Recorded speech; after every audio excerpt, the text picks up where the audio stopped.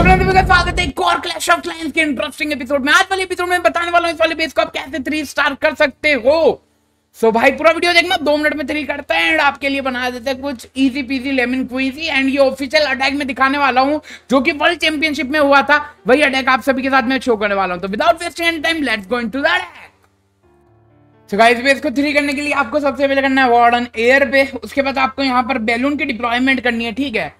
और आपको यहाँ पर वार्डन एयर पे रख के कुछ इस तरह से आपको यहाँ पर बैलून डिप्लॉय करना है ग्रैंड वार्डन को डालना है। एंड अब आपको वेट करना है थोड़ा बहुत, ठीक है? वेट कीजिएगा वेट कीजिएगा वेट कीजिएगा। There we go the warden ability with the rage spell down there ठीक है? अभी वो अपना काम कर लेंगे बैलून वगैरह जाकर के एंड यहाँ से आपको एक कॉर्नर से डिप्लॉय कर देनी है अपनी बैटल ब्लिम को, ठीक है? एंड यहाँ टोर्नेडो वगैरह आएगा ईगल वगैरह वो टेक डाउन कर पाने में कामयाब हो जाएँगे बैलून यहाँ पर। कोई दिक्कत नहीं होने वाली ब्लिम्प आपका सेफ़ है। एंड अभी देख सकते हो यहाँ पर ये पूरा कंपार्टमेंट टेक डाउन हो गया। आपका ब्लिम्प आएगा। ब्लिम्प को सीसी पे फोड़ देना आपको कुछ इस जगह। फोड़ के यहाँ आपको करना है invisible clone and the rage and यहाँ पर आपको एक और इनविजिबल यूज़ कर लेनी है ताकि आपको सारे के सारे इन्फर्नो टावर्स भी मिल जाए।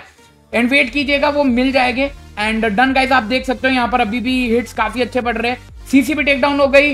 एंड जो आखिरी वाला मल्टी इन्फर्नो है, वो भी टेक डाउन हो गया।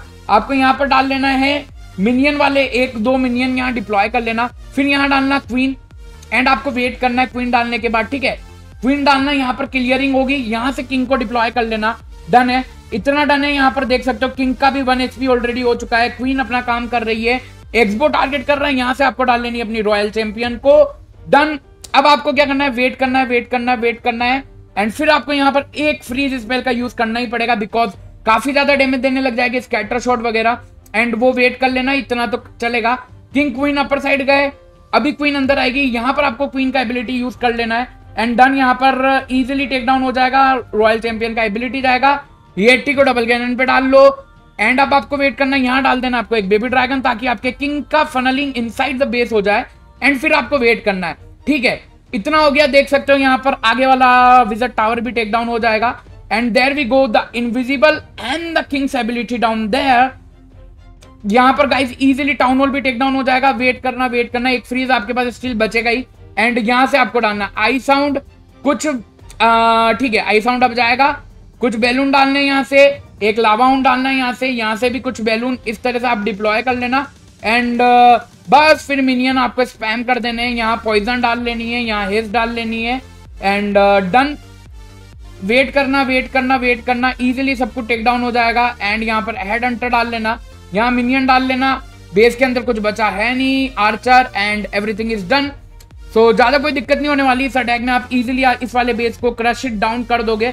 वो भी काफ़ी नाइस एंड ईजी वे में थ्री कर लोगे। एंड देख सकते हो यार स्पेल भी बच गया अपने पास। स्टिल काफ़ी बैलून्स भी बचे हुए हैं। एंड हेड हंटर्स भी बचे हुए हैं। तो कम से कम यूज़ करके आपको इस बेस को इजिली थ्री कर सकते हो।